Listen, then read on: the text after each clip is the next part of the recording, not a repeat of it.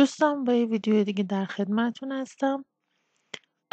در این ویدیو ادامه پسوند مدن و مادان رو داریم که قبل و بعد رو می‌خوام درس بدم بهتون. قبل رو یاد گرفتید قبلا مدن و مادان رو یاد گرفتید. الان می‌خوام دکتان سونرا رو یاد بدم. البته توی یکی از ویدیوها داشتیم اینو قبلا ولی دوتاشون رو با هم یه جا می‌خوام درس بدم که کوتاهتر و شاید یک مقدار سریعتر و مفیدتر باشه براتون. خب بریم ببینیم درس چطور هستش. تا همینجا اومدین لایک کنین. خب ببینید فرمولی که داشتیم برای مدن و مادان önce واسه اینکه قبل رو بگیم. اینطوری بود که فعل رو می آوردیم بنا به قواعد واجی که داریم. اگه فعلمون هجای آخرش صدای نازک رو داشته باشه مدن اگر صدای کلوف رو داشته باشه مادان رو می‌گرفت. بعد هم کلمه önce رو داشتیم. اینجا هم فعل رو داریم. و این حالت رو دیکتن، دوکتن، دکتان و دوکتان رو داریم. اگر نیاز باشه که یعنی اگر حروف آخر فعلمون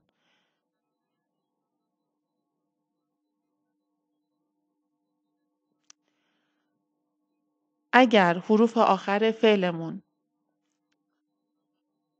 ف س ت ک چ ش ه پ داشته باشه د تبدیل به ت میشه و اون وقت چی داریم؟ تیکتن توکتن تکتان و توکتان.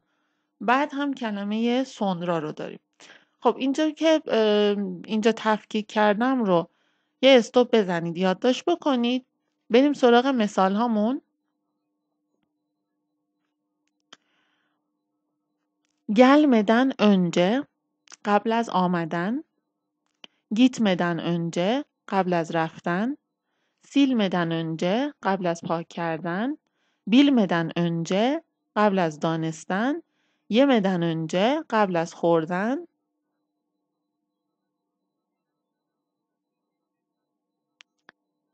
خب اینجا فعل هایی رو گذاشتم که در اونها صدای نازک وجود داشت.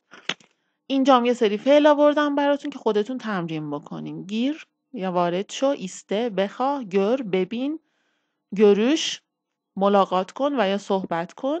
سچ انتخاب کن. ات انجام بده. ایزله تماشا کن. اینا رو خودتون بذارید توی این فرمول و تمرین بکنید.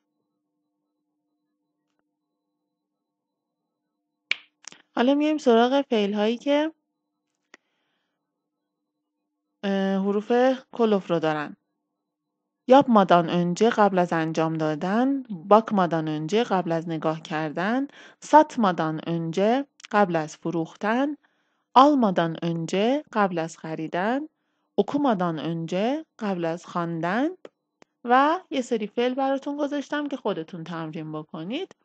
اتور بشین براک ولکن کر بشکن کال بمان kaldır بلند کن دور بایست و یا صبر کن کنوش صحبت کن اینا رو خودتون می‌تونید تو این فرمول بذارید و به این شکل معنی بدن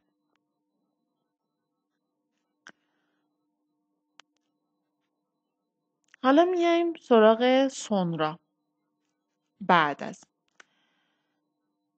ببینید تو این مثالی که گذاشتم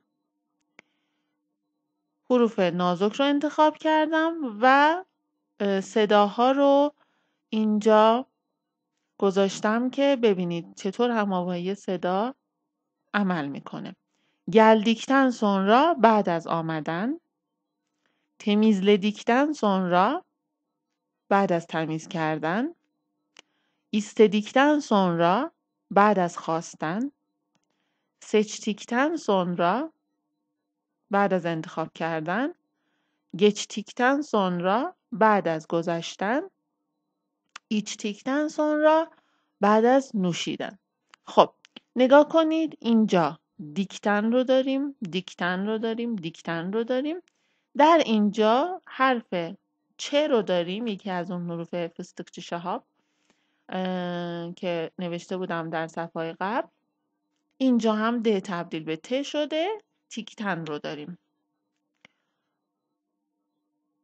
بریم سراغ مثال بعد. aldıktan sonra بعد از گرفتن ببینید اینجا حروف کلوف رو داریم. yazdıktan sonra بعد از نوشتن taradıktan sonra بعد از اسکن کردن تاراماک به معنای شانه کردن و اسکن کردن هستش.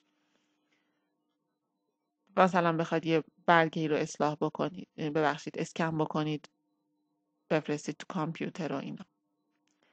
bıraktıktan sonra بعد از ترک کردن açtıktan sonra بعد از باز کردن anlaştıktan sonra بعد از توافق کردن.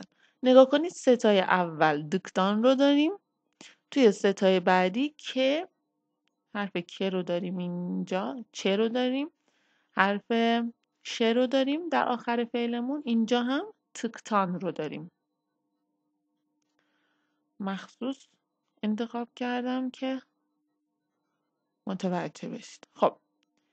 لیست بعدی oturduktan sonra اینجا هم دوکتان رو داریم.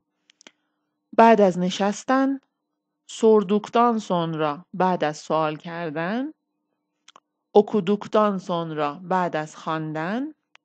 konuştuktan sonra بعد از صحبت کردن. uçtuktan sonra بعد از پرواز کردن. buluştuktan sonra بعد از دیدار کردن. خب نگاه کنید ستای اول دوکتان رو داریم. ستای بعدی که آخر فعلمون کنوش اوچ یعنی پرواز کردن پرواز کن. بلوش یعنی دیدار کردن. خب اینجا حرف ش چه و اینجا هم ش رو داریم. د اینجا تبدیل به ت شده. توکتان رو داریم اینجا. هیچ لزومی نداشت ترکا اینو عوضش بکنن. خب هر تو هر زبونی د کنار این حروف بیاد ت خونده میشه. هم چرا نوشتاریشون عوض کردن. چه لزومی داشت. اوکی. خب gördükten sonra یعنی بعد از دیدن. öldürdükten sonra بعد از کشتن. Böldükten sonra بعد از تقسیم کردن görüştükten sonra بعد از ملاقات کردن öpüştükten sonra بعد از روبوسی کردن göçtükten sonra بعد از مهاجرت کردن. خب باز نگاه کنید ستای اول رو دکتن ستای دوم گروش به شه ختم شده اپوش به شه ختم شده گچ به چه ختم شده اینجا هم توکتن رو داریم کلا یه بار دیگه می‌خونم به خاطر صدای ا و او که یه بار دیگه خونده باشم Gördükten sonra, öldürdükten sonra, böldükten sonra, görüştükten sonra, öpüştükten sonra, göçtükten sonra. خب اگه یه عده می‌پرسن خب این فرقش چیه؟ ببینید gördükten با گردوکتن فرق می‌کنه. دقت کردید؟ öldürdükten با oldurduktan فرق می‌کنه. متوجه میشید؟ وقتی که اشتباه تلفظ میشه کاملا مشخص میشه. مثلا این آخری رو ببینید. göçtükten تلفظ درست گچتوکتن تلفظ اشتباه.